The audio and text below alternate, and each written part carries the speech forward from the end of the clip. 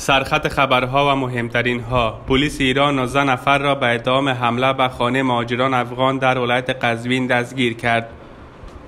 پوتین و میرزیایف تلاش روسیه و ازبکستان دستیابی به صلح و ثبات در افغانستان است. و خبری که با شنیدنش شیرینی توضیح می‌کنید. مشروع خبرها پلیس ایران اعلام کرد که 19 نفر را به اتهام حمله به خانه پناهجویان افغان در شهر اقبالیه قزوین دستگیر کرده است. روز جمعه افغانستان اینترنشنل ویدیوی منتشر کرد که در آن دیده می‌شد گروهی از افراد با سنگ چوب به خانه مهاجران افغان حمله می‌کنند.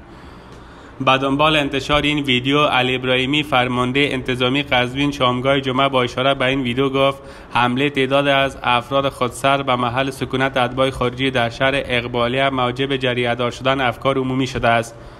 بر اساس خبرگزاری ایرنا ابراهیمی گفت ماموران پلیس امنیت عمومی استان با همکاری عوامل انتظامی شهرستان قزوین بلافاصله با انجام اقدامات اطلاعاتی و فنی موفق به شناسایی و بازداشت 19 متهم در این زمینه شدند. فرمانده انتظامی استان قزوین همچنین گفت افراد دستگیر شده با تشکیل پرونده به مراجع قضایی معرفی شدند. او تاکید کرد که پلیس با هر گونه رفتار خلاف قانون و ساختار ساختار شکنانهایی که موجب جریادار شدن افکار عمومی شود قاطعانه برخورد می‌کند و به هیچ شخص و گروه اجازه نامنی نخواهد داد. در ویدیوی دلخراش که از یک محلات شهر اقبالیه روز جمعه 14 میزان بر رسانه افغانستان اینترنشنال رسید جوانان محلی با سنگ چوب به در و پنجره خانه های ماجران حمله می‌کنند. در حالی که مهاجمان میخروشند و به پنجره سنگ می‌زنند. از پشت پنجره که دو قلب سرخ رنگ بر روی آن نقاشی شده صدای کودک شنیده می شود که از ترس فریاد می‌زند یا ابوالفضل. مهاجران افغان در این شهر در پیام هایی که در گروه های تلگرامی و واتساپ و بی میان خود دست به دست می‌کنند به همدیگر توصیه می‌کنند از خانه بیرون نشوند. غذای کافی داشته باشند و درها و پنجره ها را قفل کنند. پوتین و میرزیایف تلاش روسیه و ازبکستان دستیابی به صلح و ثبات در افغانستان است. کرملن پس از دیدار ولادیمیر پوتین و شوکت میرزیایف در مسکو بیانیه مشترک رؤسای جمهور روسیه و ازبکستان را منتشر کرد. در بخش از این بیانیه آمده است که روسیه و ازبکستان به های خود برای دستیابی به صلح و ثبات در افغانستان ادامه خواهند داد.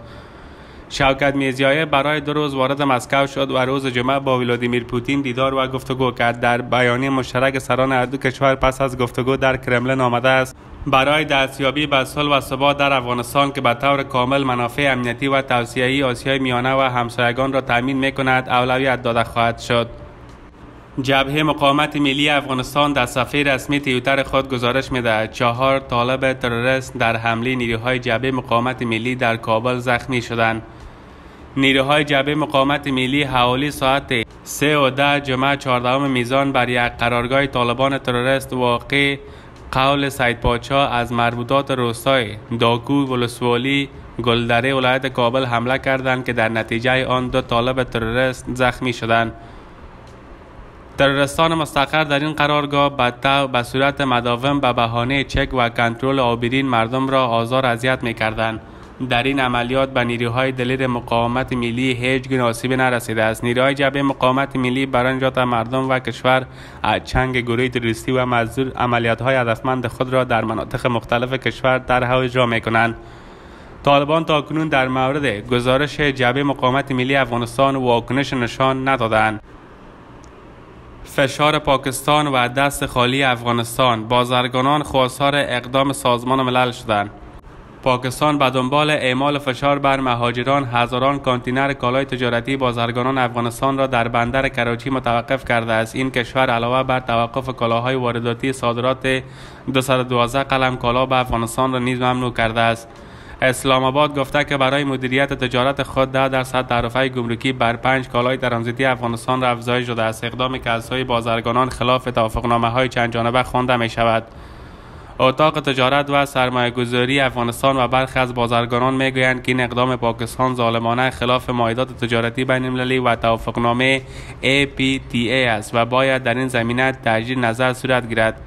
سرمایه گذاران کشور تصریح می کنند که سکتور خصوصی بیش از این تحمل تاوانهای طاقت فرسای اقتصادی را ندارند. به گفته آنان هم‌اکنون 4500 کانتینر در بندر کراچی متوقف شده و 12000 کانتینر دیگر تا دو سه روز آینده به این بندر می رسد که روزانه دو میلیون دلار به آنها خساره وارد می کند و خواستار حمایت سازمان ملل شدند. آگاهان امور تجاری اما کریدور پامیر را مهمترین بدیل بندر کراچی می دانند که در صرفه‌جویی هزینه‌ها و زمان نسبت به پاکستان برای افغانستان سود بیشتر دارد. پاکستان علاوه بر فشارهای گسترده علیه مهاجران افغانستان در این کشور هزاران کانتینر کالای تجارتی ترانزیتی افغانستان را در بندر کراچی متوقف کرده است. این اقدام از سوی بازرگانان و اتاق مشترک تجارت افغانستان و پاکستان در تضاد با میثاقها و توافقنامه های تجارت بین المللی خوانده شده است. رسانه های پاکستانی گزارش دادند که وزارت تجارت این کشور صادرات 212 قلم کالا به افغانستان را بر اساس توافقنامه تجارتی ترانزیتی ممنوع کرده است.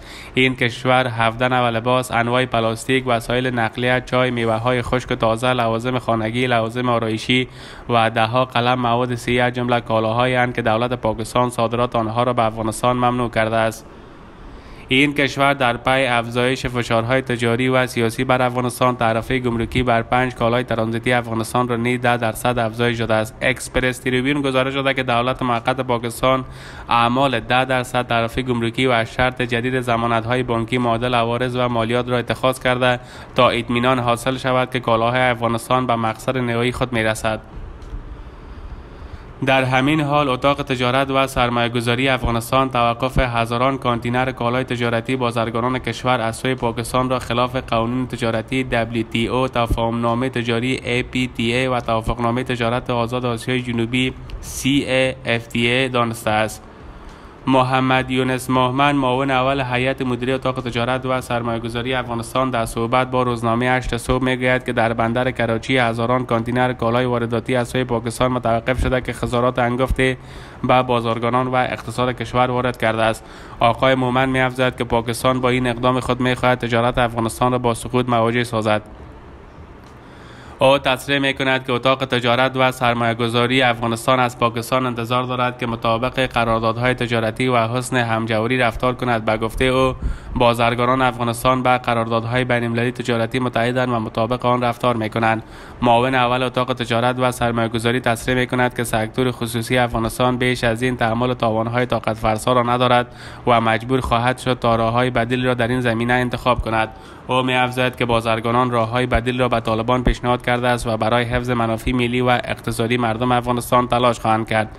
با این حال زلمه عظیمی یکی از بازرگانان کشور می‌گوید که واردات و صادرات کالاهای افغانستان بر اساس موافقتنامه تجاری ترانزیتی افغانستان و پاکستان از طریق بنادر این کشور صورت می‌گیرد به گفته او این قرارداد پس از تسلط طالبان دوباره از سوی پارلمان پاکستان مورد تایید قرار گرفته است. تشکر که تا این دم با ما بودید. برای ویدیوهای بیشتر و تازه ترین خبرها کانال ما را subscribe ویدیوهای من را like و با دوستانتان به اشتراک بگذارید. شب و روزتان خوش. خدا نگهدارتان.